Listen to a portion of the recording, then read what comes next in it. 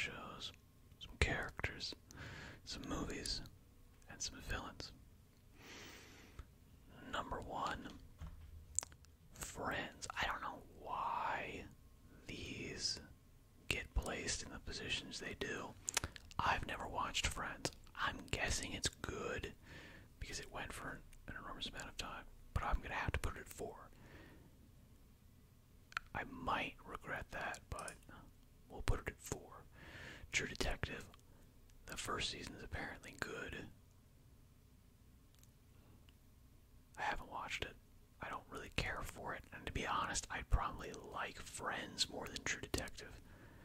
I'm tempted to put it at five, but I think we need to leave some room. The Last Kingdom. You know what? I'm okay with this at two. Nothing's. I don't know what Money Heist is, so that has to go at five. Peaky Blinders at number one. I'm okay with that. I'm okay with that. Yeah, actually, you know what? I would maybe switch True Detective and Friends, but that's it. Those are the only ones I think I would actually switch. Alright, let's do one more.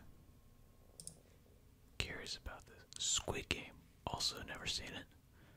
Uh, apparently, it's good. I'll put it at three, though. Supernatural, number one. Easy, easy number one. Breaking Bad, I don't care. Number four. Dexter, ooh, better than those other two. I've actually seen it. And then Peaky Blinders at five. Supernatural, number one. Absolutely yes. No question. Alright, now let's rank some movies. The Green Mile. I really like it. It's not as good as The Shawshank Redemption, but it is really good. Ah, this is strong. I put it at two. Harry Potter series. I don't love the movies. They're very much all over the place. The whole series, though, we'd have to put it at three. I can't put it at number one. Seven. It's not a number one. It's not a number one. I can't put it there, but it's very good. I'm gonna put it at four. I would like that to be up higher, but I'm okay with The Dark Knight Rises. Rises is is is the roughest, but oh, so far I actually I might I'm gonna have to put it at number one. Interstellar. Oh, that's better. It's better than Dark Knight Rises for sure. The Green Mile should be on. The Green Mile should be number one. Then Interstellar, then Dark Knight Rises, then Seven, then Harry Potter series. Harry Potter series should be on the bottom. It's unfortunate. Let's try it again. Shawshank Redemption. That's an easy number one for me. The Prestige. It's good, but let's leave a little bit of room. The Wolf of Wall Street.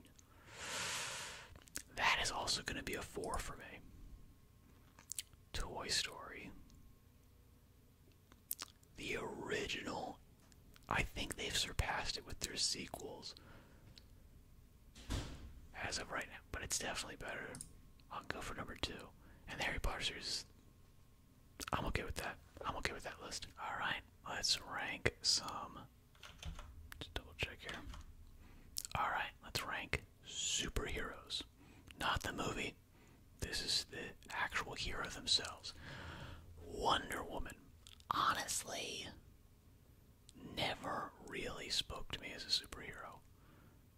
I know there have been a lot of attempts to really put her front and center and make her more interesting in the comic books and in, to be honest, the shows and all that kind of stuff, but she's just never really broken out for me.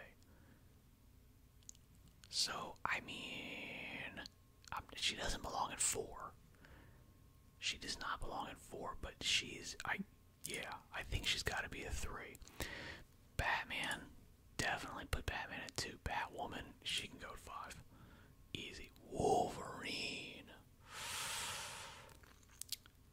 Do we put him at number one? I oh man, he's he's kind of safe at number one. If Superman shows up, we're gonna be we, we're gonna have to roll the dice. Deadpool. No. Deadpool. The movie's okay, but the the the superhero itself, no. No.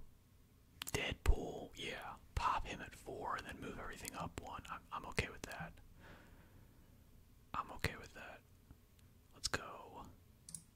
One more. Black Widow. She doesn't deserve to be at five. She's more interesting than that. But I think a four is probably about correct. Scarlet Witch, I'm actually yeah, you know what? Her at three is correct. Daredevil. I'm not the biggest fan of Daredevil. I know everyone's favorite, like all the writers' favorite is Daredevil. Everyone wants to write Daredevil. I'm okay with putting him at number two. I can't put him at number one. I can't do it. At five. And then Wolverine, you know what? Wolverine above Daredevil? Yes, I'm okay with that. I have no problem with that at all. I'm actually okay with this list. Yeah, you know what? I'm totally fine with it. This is correct. This is actually correct. Let's do another one. I actually like this. Black Widow at four. That was safe last time. Spider Man at number two. I think we can put him at number one and be pretty happy. Shazam. comic Shazam is good. The movie was bad. But we're working with the hero himself. I think he's good, but he's not. He's not number two. Doctor Strange. I actually, you know what? I like Doctor Strange more than Shazam. Yeah, I'm okay with that. Captain America at five. That's a bit of a disappointment, but it's okay. One more. Wonder Woman. We regretted putting her three last time, but I do think that is the correct. Hulk. You know what? He's just strong. Like, I, I know he's not. Like, there have been a thousand different, you know, move throughs where he's become, like, you know, a bunch of different things. But to be honest, the thing that they keep getting back to is he's just strong. I have to put him below Wonder Woman. Has to go at five. Iron Man at two. I'm okay at Iron Man at two, yeah, and Captain America above Iron Man, yeah. I'm definitely on Captain America's side in Civil War. Absolutely, in the comics, 100%. And now we're gonna rank the villains. Sauron. I don't, you know what? We really can't put him super high. As powerful as he is, he's really not a force in Lord of the Rings. He's just this nebulous, you know, character. He's not a character. So, I mean, as interesting as he might be, he has to go like a four. He has to go low. Voldemort. My instinct is to put him above Sauron, to be honest, he's not an interesting character. He is evil. He's pretty good at being evil. But he's, yeah, he's not much of a threat. Like, I can't really honestly say I'm scared of Voldemort. I'm more afraid of Sauron. Dr. Hannibal. As a villain, no. As like a super creepy, like horror kind of thing, he's pretty high. Yeah. I'll put him at three. Thanos, Thanos is always my number one. T-Bag from Prison Break. That's an interesting one. That's hilarious because he's only really a villain in like what? The first season of Prison Break. Hilarious. Dexter as a villain. I don't know if he's a villain. I think we have to put him dead last because he's actually really like an anti hero in the. I mean, he's really portrayed as an anti hero. Yeah. So we have to put him last. Voldemort at four. Yeah. Screw him. Anton Ch- ah, as a villain, he's kind of creepy, but I don't know. He, I don't think he ranks very high. I think three is the correct spot. I don't know who Joe Goldberg is. Who is Joe Goldberg? I do not know. So he's got to go at two. And then Freddy Krueger, number one. You know what? That's on brand for uh, Halloween. I'm okay with that. We'll do one more villain. Vecna. Ooh. Not. Not the Dungeons and Dragons. Vecna. But these Stranger Things Vecna. Stranger Things Vecna. I don't love how they made him the end all and be all of the Stranger Things universe. That was a little bit of a mistake for me. I don't love it.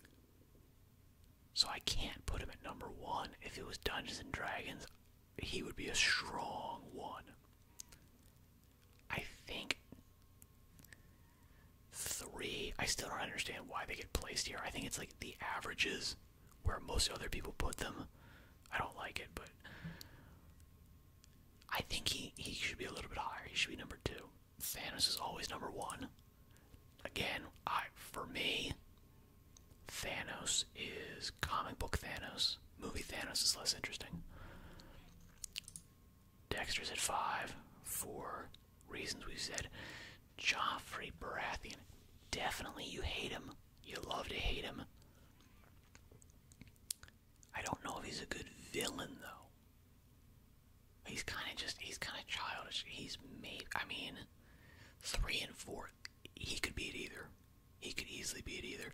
I'm gonna put him in four. And then Darth Vader, yeah, okay. I'm happy with that. Vecna and Vader could switch. But you know what? Vader redeems himself in the end, so I'm actually okay with that. I'm actually okay with this list. This is pretty good. We've got one more, and it is blind ranking fictional creatures. King Kong. I think this is from the more recent standalone King Kong movie. I thought he was kind of a loser in that.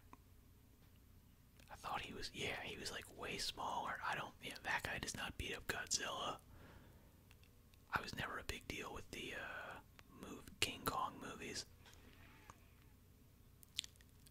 Four seems low. But you know what? I'm okay with four. Predator. Yeah, I, I'd say Predator beats up King Kong. Doesn't actually beat him up. you know what? No, Predator could beat up King Kong. He's got nukes, he's got bombs, he's got lasers. Yeah. King Kong is just big. He's a big, big monkey. Predator from original Predator, man. Yeah. What a great movie.